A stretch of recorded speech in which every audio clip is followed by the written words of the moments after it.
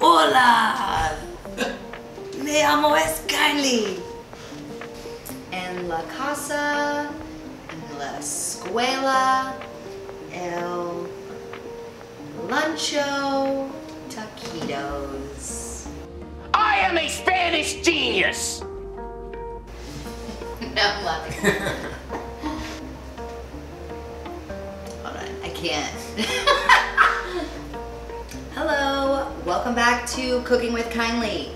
Today, we are going to make buffalo chicken taquitos. And we are using the air fryer. Because everything's delicious in this bitch. Okay, so for time's sake, I've already made my buffalo chicken. I just used a rotisserie chicken that I got at Kroger and I mixed it with Frank's Red Hot sauce, Frank's Red Hot. I put that on everything.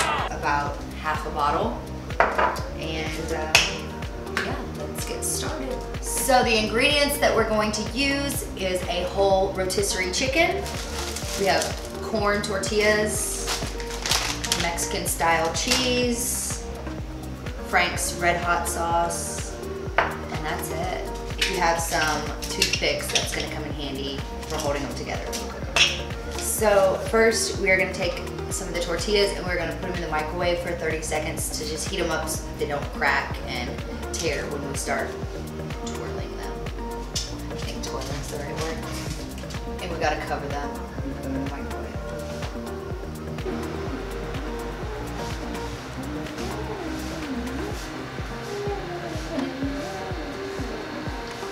So we're just going to scoop some of our buffalo chicken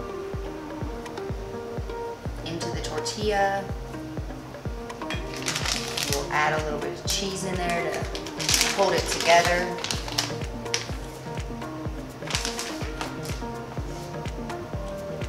Just roll it up. Twirl it, if you will. That's a fat taquito. And La Casa,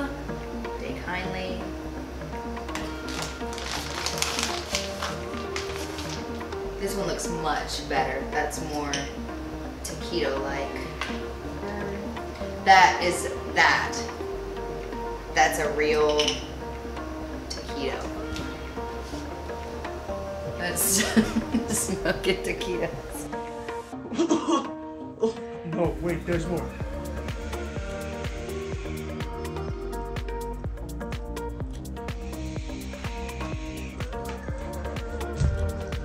Okay, so we are gonna cook these at 350 degrees for 10 minutes in the air fryer.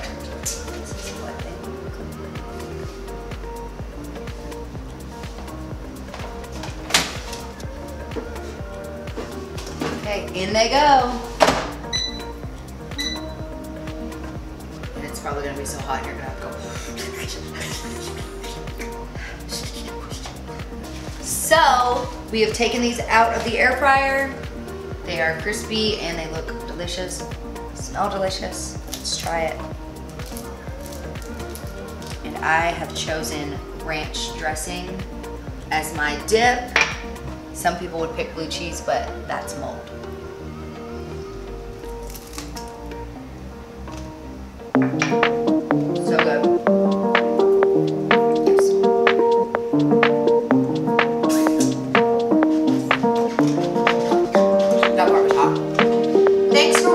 For